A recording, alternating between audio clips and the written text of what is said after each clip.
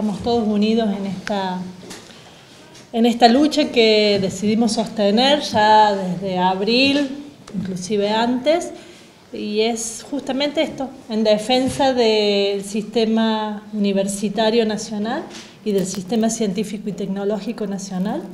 Eh, como todos saben, eh, contamos con muchos y muchas docentes que están ganando salarios de pobreza y eso, eh, primero que lo que involucra es que muchos docentes o algunos estén evaluando abandonar la universidad a pesar de estar formados, de tener su formación de grado, en muchos casos de posgrado. La universidad no está siendo un destino laboral para muchos graduados, lo hablábamos ayer con, con Valentín, el presidente de la FURC.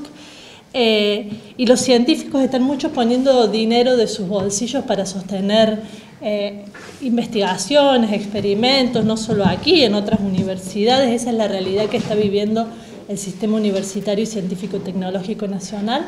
Entendemos que, eh, bueno, lo han dicho tanto Marisa como Daniel, la Universidad Nacional eh, Argentina ha dado muestras de todo lo que aporta para el desarrollo social, cultural, económico, productivo de un país. Y es eso lo que todos quienes estamos aquí y toda la comunidad universitaria piensa que debe ser sostenido y la invitación es que la sociedad esté acompañando en ese pedido para que el Poder Ejecutivo Nacional escuche y empiece a dar resoluciones para que este sistema pueda ser sostenido y engrandecido y mejorado siempre.